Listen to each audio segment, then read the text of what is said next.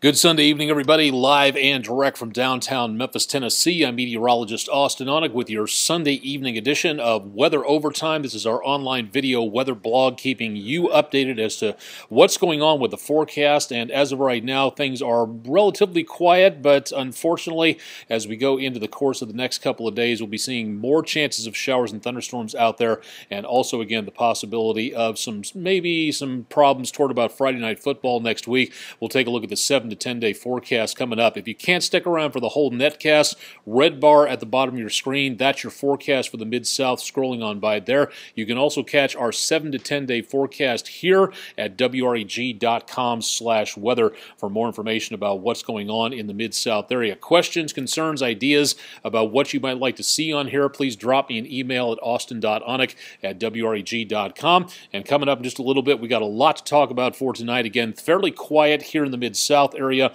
but we'll also be seeing again that potential for more chances of showers and thunderstorms later on. Tropics are getting very active at this time, and we'll talk more about that. Plus, a team of meteorologists and scientists are actually going towards where Hurricane Florence may be making landfall, and they're in Memphis for tonight. We'll tell you more about what they're planning on doing in just the next few minutes, so stick around for more on that. Got any uh, comments about the weather? What's going on in your area? Drop your city, state, location into the comments section and give us some temperatures, some rainfall amounts, sky conditions, high temperature, low temperature. Let's do some amateur meteorology, and I'll call some of those out on camera as I see them passing on by the screen. Welcome to everybody, and thanks for tuning in for tonight. Again, for the rest of the evening, we should be looking at some pretty cool numbers heading into very early tomorrow morning. Kids at the bus stop might need a jacket in parts of the Mid South with temperatures dropping by early tomorrow morning into the lower to mid 60s. So we've got some decently cool numbers heading our direction into and around the area. Nick Cook, uh, no polygons tonight. No, doesn't look like it for right now. So looking pretty quiet for the uh, time being. Rose, MK, Witham, Smith. Glad you like the rainfall out there. Ronnie Williams, 68 degrees in Collierville. Thank you very much for checking in on that one. Avery Nellum drizzled a little bit earlier. Thank you very much uh, for that one, Joan Pyrdum, Pyrdum, hope I'm saying that right, uh, turn the air conditioning off. That's nice feeling to have right there. Tiffany Kern, thanks for joining us uh, for tonight, and everybody else who's checking in from around the area for the time being. Uh, Monique, not exactly a solid tie. It's more of a Doctor Who reference right there, but uh, at least from here you can't see that on air, so that's why I wear that for the fairly calm and non-striking tie right there. Scott Jarvis, 76, Banner, Mississippi. Humidity 96%, winds out of the northwest. Thank you very much for that report for tonight. Beautiful night. Beth Blackwell Cross, 67 degrees. Thank you guys very much for all that. Official high temperature today, 74 in Memphis. 87 is our normal high temperature. Pretty spot on for the low, but we haven't dropped all that way just yet. We might drop lower than this that was set at about daybreak for this morning. Precipitation, we wound up with just about an inch of rainfall or so, and we're back up to nearly nine inches ahead of normal for the year, so doing very well on rainfall. And for the month, just about three inches, most of that picked up in the last couple of days. Looking back towards Shelby Farms Park, some sky shine taking place as the lights from Memphis reflect off the underside of that cloud deck. Hyde Lake, and not too many people out and about for this evening, a little bit on the cool and decently quiet side. No construction going on into and around I-240 and Poplar for tonight from our Hilton East Memphis camera. No construction, so all lanes are open at this point in time. Still a lot of construction equipment around as Memfix 4 from TDOT has a long way to go, but at least things are moving along for this weekend out there. We've ramped up the sensitivity to see if there's anything coming our way on Storm Tracker 3S. There's been a few drizzles making their way on through. The heaviest rainfall by far is over portions of northeast Mississippi, a few sprinkles from around Alcorn, Tishomingo counties down to just to the east and south of Oxford for tonight. But once that clears the area, that should be it for the rainfall across much of the mid-south. Showers and thunderstorms, some heavier rainfall down around Starkville, Columbus in Mississippi, and going across into portions of west central Alabama for tonight. Plenty of moisture in place. What's left of Gordon, the tropical depression, former tropical depression, is now now way up to our northeast, but also dragging down some cooler air, so that's helping to keep things a little bit more palatable out there for tonight out across much of the area. So again, decently cool out across much of the mid-south for the time being. Temperatures right now, again, dropping close to our low temperatures from this morning back in the mid to upper 60s, and another round of decent rainfall for today nearly an inch and a half at North Point Christian School in Southaven. This is on top of those two to four inches of rain we picked up yesterday. So some parts of the Mid-South easily picking up three to five inches in the last 48 hours. So a decent soaking out there to help clear out the air a little bit and also help the wildfire danger by just a little bit anyway across much of the area. Alan Bogard from Corpus Christi, welcome. It's a far, fur piece from around the area, but thanks for checking on in. Grady Bennett, comfortable 68.1, two and a half inches of rain from the gauge in Barclair. Thank you very much uh, for that one right now. Andy Drew Montgomery, what is the dew point in Redmond, Washington right now? Good question. Don't know. I'll see if I can look that up by the end of the show, but thanks for asking about that. Rest of the evening, again, a few sprinkles passing on through, but beyond that, we should see an end of the rain coming up around midnight and afterwards. And then tomorrow morning, again, parts of the mid south by the time the kids hit the school bus stop back in the lower 60s, could be even north of I 40, some temperatures back in the upper 50s. So that jacket might come in very handy tomorrow out there right about rush hour Monday. Rest of the day looks good. Temperatures in the mid to upper 70s out across much of the area. And looking at numbers again, pretty close to normal over the next several days, but at least we got some very mild conditions out there for right now. Barbara Broadway, hope the temperatures stay. Uh, yeah, would love to say that, but not really going to be happening at this point in time, so not too bad there. Andy Drew Montgomery, no idea who Todd is, but thank you very much for checking on through for tonight. And Madison Mealer, glad you're excited about the rainfall because we'll have some more of that coming up a little bit later on. Mostly cloudy for Monday. Again, we're not expecting anything in the way of showers out there for tomorrow. Clouds at times mixed in with the rainfall, but that's going to be about all that we see out there. Also seeing, again, some chances of showers and thunderstorms coming our way as we get into Tuesday. Not great chances, again, about 20% coverage chance, but that's about it. Uh, Brian Rhodes, welcome from New Hampshire. Thanks for checking in uh, for this evening and everybody else checking in across the area for tonight on live real-time weather overtime for tonight. Heading into the next several days, temperatures begin that stair step upwards into the mid-80s, and there will be that chance of an isolated shower or thunderstorm thunderstorm every single day. Very close to normal by week's end and into next weekend with some isolated showers and thunderstorms could be a problem for Friday Night Football and could be maybe a problem for, again, around the athletic events for next Saturday. The Southern Heritage Classic rained out, stormed out last night, and the officials making a very wise decision to curtail the activities for public safety last night. A lot of people not happy about the game being postponed and then canceled, but that was an exceptionally really wise and safe decision by the authorities out there, by the officials at the game. Very good idea to make certain everybody stays safe, and it's very difficult to make certain that thousands of people get protected underneath the stadium when there's severe weather around. So something, again, that was a very good call across much of the area into and around the air for area last night. 71 in Eureka Springs, April Hence, thank you very much uh, for that one into, coming into the area. Appreciate that, and everybody else who's checking in. Next weekend into next week, midpoint of September, September. Temperatures back in the mid 80s, just below normal for this time of the year. So looking pretty stable on the numbers, not huge, huge numbers up or down. No heat waves, so that's good news. And temperatures for the next couple of days at least we're going to be seeing some fairly moderate activities for right now. All right, big story, of course, is the tropics. Tomorrow is the midpoint of the hurricane season. It started on June 1st.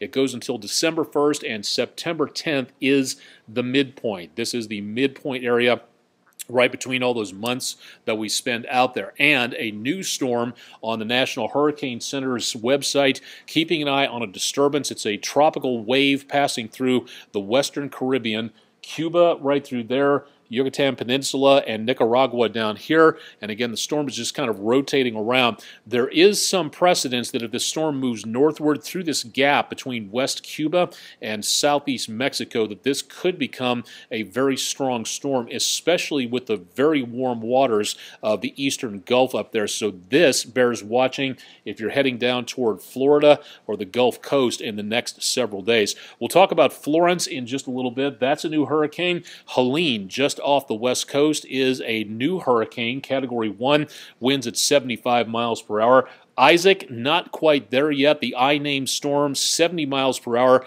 has to get over 74 miles per hour to see if there's, again, any winds out there like that. No indication that they're going to be sending a Hurricane Hunter plane to check these storms out yet, but again, definitely bears watching. Both of these storms appear to be taking more of a westerly track at this time. It looks like Helene may be spinning northward up between uh, Iceland and Bermuda. So hopefully Helene is not that much of a problem. Isaac on the long range forecast is showing some potential of heading toward the Caribbean and possibly play not definitely, but possibly into the Gulf of Mexico. So that's something we need to watch, and looks like it's going to be diminishing from a Category 2, possibly back to a tropical storm as we go toward the end of next week. Of course, the big weather story for tonight is Florence. It encountered some dry air and a little bit more shear in the Atlantic, so it did a pretty good job of weakening back to a tropical storm this weekend. Now it's moving over some warmer waters. It's getting a lot more moisture, and the conditions are a lot more favorable for this thing to scoot right along back toward the southeast United States coast. This is the forecast for right now.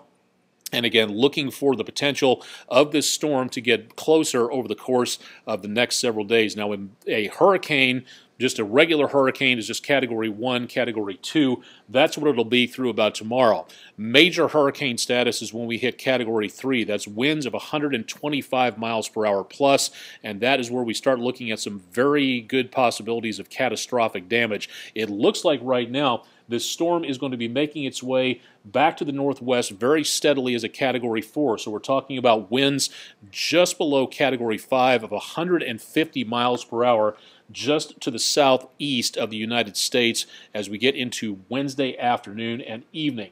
Then, as we go toward around the area of Friday afternoon, that is where, let me see, not getting, I have to do this the old fashioned way here. Sorry about that. The storm itself is again heading its way. It's looking like it's going to be going toward about the area around the Carolinas, and that again is fairly good news for anybody north or south of that. Now, keep in mind that this storm can go anywhere within this white boundary. This line right here is just the average of all of that. So, again, anything south of Chesapeake Bay, and I would say anything north of Jacksonville and even down toward Orlando, Florida, if you're planning on traveling anywhere in that location in the next few days, I would strongly recommend reconsider or be very flexible. You don't want to be going into a situation where you're just going to have to turn around and get back out of in the next few days. This is a dangerous storm. Now, again, this path will change in the next few days, so it's important, it is critical to make certain that you pay attention to what is going on with these storms into the area. Andy Drew Montgomery, uh, check your pockets or your desk. That's probably where your car keys are, just to be on the safe side. That's the last place I left mine out there. Anyway, for the next couple of days, we'll be looking for this storm to possibly affect this area. There is some possibility, according to some of the computer models, that this storm may stall offshore and the path of the storm might loop the loop and then head back up the east coast. Now, that's just a couple of possibilities right there, but ones that need to be considered because if this thing sits here shoveling tons of moisture on shore, we could see not inches of rainfall, but feet, and that could really increase the problem of flooding on top of the storm surge that is heading on through here and the waves. We're already seeing waves on the east coast that are huge and going to be getting even larger into the course of the next several days. Andy Drew Montgomery, uh, no, I was born in Colorado Springs, but thank you for asking, and it's uh, Austin, Texas is spelled with an I, by the way, so just watch your spelling on that. Rest of the forecast, again, could be causing a lot of problems here with, again, the chances of rainfall moving on through. That, again, is going to be one of the major killers from this storm, so this is something to really watch out for. So if you're planning again traveling anywhere south of Richmond or D.C. or north of Florida and around, say, Savannah, that's the area to watch out for as this storm continues to make its way back that general direction. We'll be watching that very carefully uh, into and around the area, so we could see a lot of problems with that on the East Coast. Not quite for us here into and around the area for right now, so pretty quiet, quiet for the time being. Uh, ben Mount, what are the water temperatures, and will it have an effect on weakening the storm? It doesn't really look like it right now because if you take a look between where the storm is right now, the sea surface temperatures are the orange and red colors right here. So the numbers are decently warm at this point and will continue to be so. So that's going to help this thing to grow into the next couple of days. The only thing that is really going to slow this thing down is that if it actually makes landfall, uh, once this thing hits land, it loses about 50% of its power. So that's again where we're going to be seeing the best possibility out there for slowing it down. But that is a major storm coming on through there, 150 mile per hour winds. That's not good news for that particular area. Have to thank uh, PhD students let me see, wrong source. There we go. PhD meteorology student from the University of Oklahoma, Addison Alford, and a team of scientists and meteorologists that are going to be heading through toward Florence in the next couple of days. They're taking a lot of meteorological equipment with them, including uh, mobile radar, surface observation equipment, and weather balloon launches. They're going to be heading into that area where the hurricane is going to be making landfall. Now, hopefully, that means they're going to be just outside that particular area and playing it safe. Storm chasing, should only be done by experts. And again, you should not ever storm chase unless you have been trained by experts. That's the way it is. So these guys know what they're doing, and this is not something to emulate to say, hey, let's just go chase this thing and set up inside where the hurricane's supposed to make landfall. Not a good idea. If you don't know what you're doing, you could get yourself or a lot of other people killed. So safety first and safety always on that. Uh, Joseph Boyd Sr., will it affect Memphis? The one in the Gulf, possibly. Again, too early to tell right now. Uh, Florence does not look to be a threat or any effect here on the Mid South area, so good news on that. We're letting you know about the potential of that storm just because we are the station that's on your side and we want you to be informed about what's going on out there. So, again, that's why we're updating you on this. Anyway, the reason I mentioned this Addison Alford and his colleagues are in Memphis tonight, passing through, heading to the area around the hurricane strike zone. So good luck to them.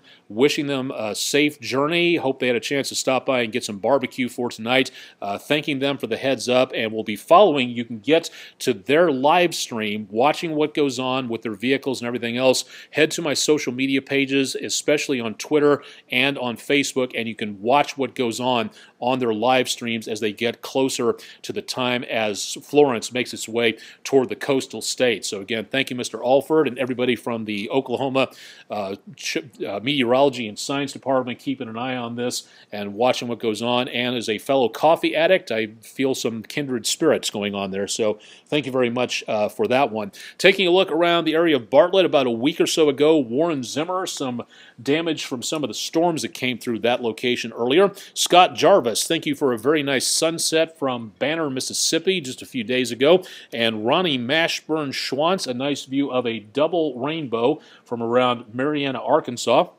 Thank you for that one. And just last night and this morning, picking up some pretty heavy amounts of rainfall. The rain gauge from Warren, Tennessee Mike Kuntz picking up about five inches plus of rain in about the last 36 hours. So thank you, Mr. Kuntz, for that one from around the Warren area. If you've got weather pictures, we would love to see them. So again, we're going to be seeing the possibility of some uh, dry weather for a while, but not seeing a great deal of it. So whatever you've got in the way of weather pictures, rain gauges, weather shots from around the Mid-South, sunrise, sunset, please tweet them to me, and we'd love to see them on here so I can post them for everybody else.